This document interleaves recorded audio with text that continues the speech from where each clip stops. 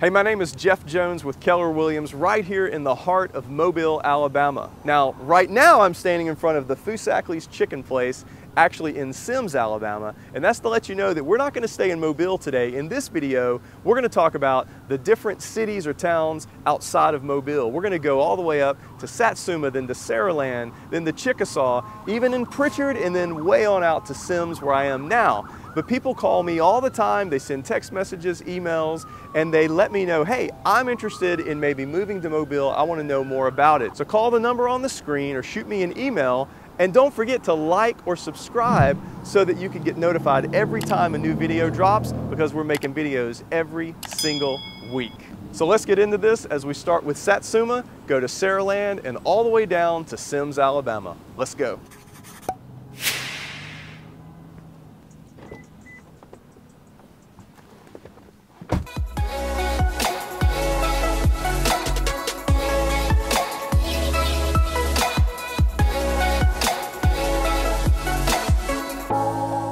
So if you're considering moving to the Mobile, Alabama area, well, you need to stay tuned because in this video, we're gonna talk about the top cities on the outskirts of Mobile. So stay tuned as we dive in.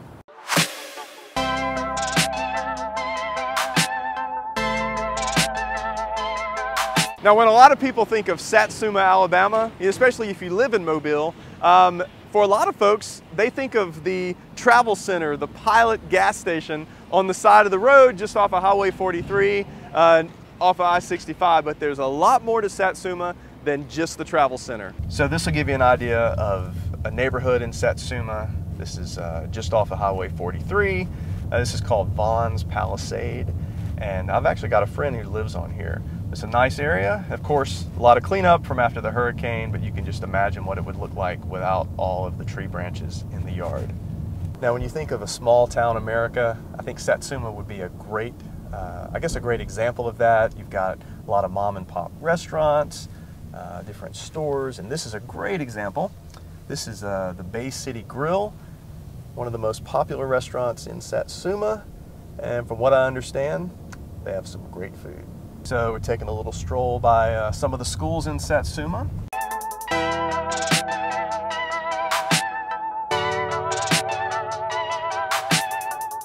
And then we're heading to the high school. So if you'll notice, this is Highway 43. Uh, it runs north and south, parallel to I-65. And then this, as we cross over the railroad track, this is old Highway 43. And what we're looking at is Satsuma High School. And I've got a friend who teaches there, known several people who go there, and they all love it. So when you think about the city of Satsuma, uh, they're just over 6,000 people, so pretty small town. Um, but if you want to live in Mobile and you don't want to live like in the hustle and bustle of the city, then Satsuma is a great choice because it's north. Uh, probably took me about 20 minutes to get to Satsuma. And so Satsuma is just a great area. It's kind of got that small town vibe. And as you can tell, they like their flags. Now the city that is just below Satsuma is called Saraland. And I spent a lot of time in Saraland when I was in college because I actually went to the University of Mobile, which is, it's really close to Saraland. There's a lot of speculation, is it Saraland, 8 Mile, Mobile, Prichard, but uh, we'll talk about that in just a little bit. But Saraland is a booming area. I'm talking people are coming from all around just for one simple reason, and that is the school system. Uh, it is on fire, property values are going through the roof, uh, but we're going to give you a little tour of Saraland because it is a great place to call home. I love Saraland.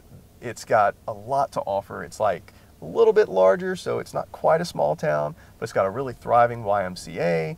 Got a lot of shopping, several major grocery stores. You've got a Rouse's, you've got Publix, of course, you've got Super Walmart, and of course, uh, in some of my other videos, I've talked about the famous chicken finger place in Mobile. It has its very own Foosackly's location, and there's just a lot of great things about the city of Saraland.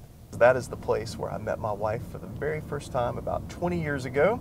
I used to go to church in Saraland, and uh, that's where we got married. So I have a special place in my heart for the city of Saraland. So one of the busiest sections of Saraland, you've got this uh, growing shopping center here, and then of course back on this side, you've got the Super Walmart, and one of my favorite places. My dentist actually lives, uh, or, or, his uh, his practice is in Saraland. The Farney brothers.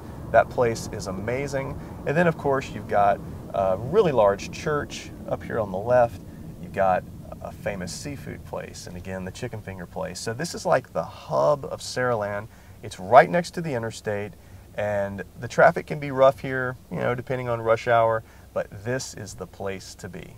Now, as we're leaving Saraland, you can tell this place is booming. You've got a Publix, you've got, of course, Popeyes has a sweet, sweet spot in my heart.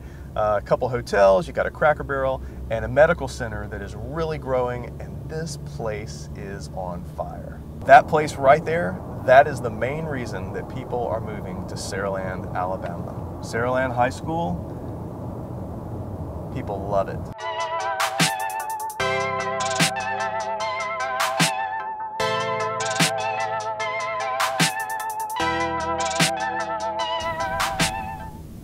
I couldn't forget about the city of Chickasaw. Chickasaw is like this little place in between Saraland and Prichard, and it's like a hidden gem just north of Mobile. So when you think about Chickasaw, a lot of older homes, very established. As you can tell, it's a very quiet street. Uh, the city of Chickasaw, um, it is a place you can go to really have a small town vibe. So obviously you've got staple in the community, got the Chickasaw United Methodist Church, and then we're going to head this way. We're going to actually go to the Civic Center and the library.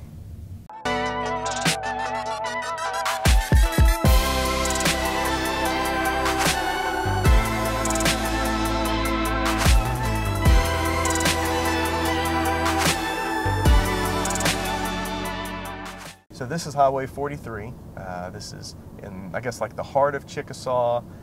You've got different churches, you've got schools. Um, this is like a hub.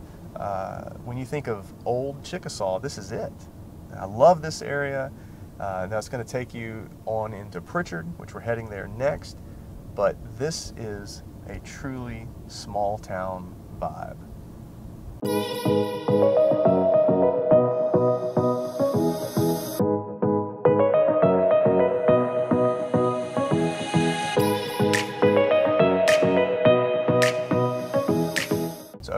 To my left, you've got Vigor High School.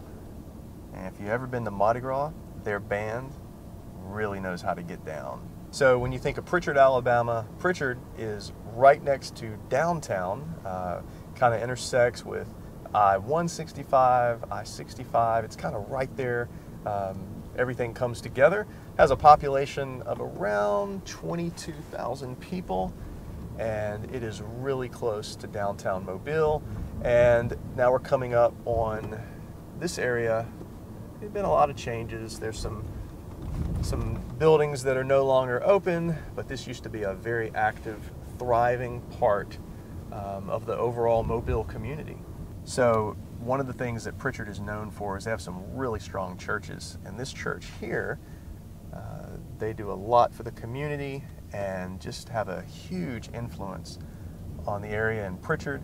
Uh, they have community events. I've actually been there before. My daughter had a program with her elementary school, but every time you ride by the interstate, you can see the church off to the side, and they're just doing some really amazing things. So we are officially entering Semmes, Alabama, and one of the greatest things about Semmes is they are the newest city to call home to Yellowhammer Coffee. Yep.